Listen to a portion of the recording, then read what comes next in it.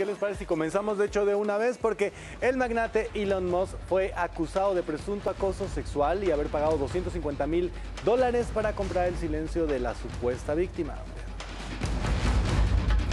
De nuevo el magnate Elon Musk acaparó la atención de los medios, pero no por una excéntrica compra como la de Twitter o una innovación aeroespacial. Esta vez se trata de un tema delicado, acoso sexual. Través de Business Insider, se dio a conocer que en el 2016 el poderoso empresario había acosado a una zafata y que su empresa SpaceX pagó 250 mil dólares a la víctima por su silencio. El documento relata que el asistente de vuelo acusó a Moss de mostrarle sus partes íntimas, frotarle la pierna y ofrecerle un caballo a cambio de un masaje erótico. Ella lo rechazó en varias ocasiones y después de estas conductas acudió al Departamento de Recursos Humanos, donde contó lo sucedido a un abogado y amenazó con denunciar, pero no hubo juicio porque fue indemnizada a cambio de no decir nada, además de al parecer firmar un acuerdo de confidencialidad. A través de Twitter, el sudafricano rechazó las acusaciones y aseguró que todo se trata de un ataque político en su contra. Los ataques en mi contra deben verse a través de una lente política. Este es su libro de jugadas estándar, despreciable, pero nada me impedirá luchar por un buen futuro y su derecho a la libertad de expresión. Quien también salió en su defensa fue la presidenta de SpaceX, Quinn Southill, quien declaró para CNBC. Personalmente creo falsas las alegaciones, no porque trabajo para Elon, sino porque he trabajado cerca de él durante 20 años y nunca he visto ni escuchado nada parecido a estas acusaciones.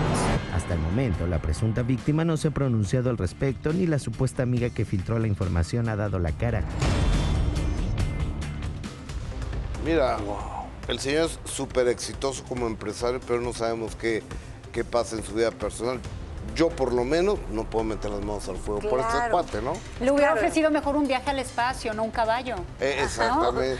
No, O- bueno, porque no, no, ahora lo, nada. lo- lo que pasa es que este señor es el que ya, ya te lleva a la luna, ¿no? Ajá, Claro, y es considerado el hombre más rico del mundo. Se estima su fortuna en 250 mil millones de dólares. Él está hablando de que esto es un ataque con Político. otros fines, político y demás, pero yo creo que también a la, a la víctima o presunta víctima que no denunció y que parece que recibió una muy fuerte indemnización, pues...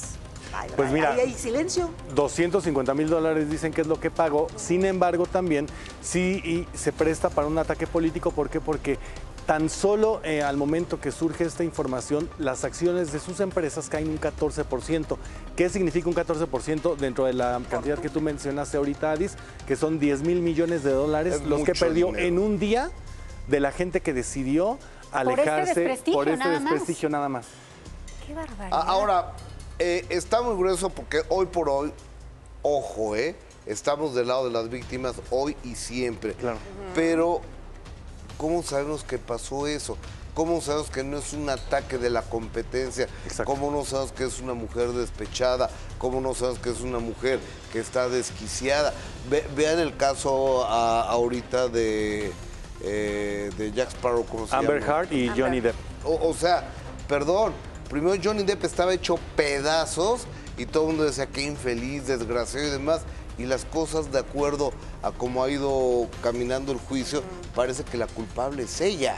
O sea, pero al principio lo desprestigió. Claro. Entonces este cuate, imagínate que haya perdió 10 mil millones de dólares en un solo día por este desprestigio, está impactante. A mí me parece muy difícil que, como bien dices, Marinés, esté ofreciendo un caballo. ¿Un caballo? a Eso me parece de risa, ¿no? Eso sí es, de como risión. si- Ajá. Pues, eh, eso es muy de nota inventada también. Y Sí, como tú dices, de repente caballo. no hay una supuesta víctima que alce y diga, soy yo la que dijo y no hay una denuncia, solamente está este rumor, se, se desploma, obviamente se logra el cometido que es desplomar parte de sus ganancias, entonces sí es una cosa que le afecta. Pero además qué valentía que la zafata pudiera demandar al hombre más Exacto. rico del mundo, ¿no? Por un hecho que realmente sí tendría por que qué vale hacerlo, la ¿no? pena, por claro. supuesto. Ya, pero el caballo sí está muy Sí, ilógico. Si hubiera sido Vicente Fernández, pues sí es entendible, ¿no? Pero este Muy señor. que- bueno, ya una Sí, como que ni al caso.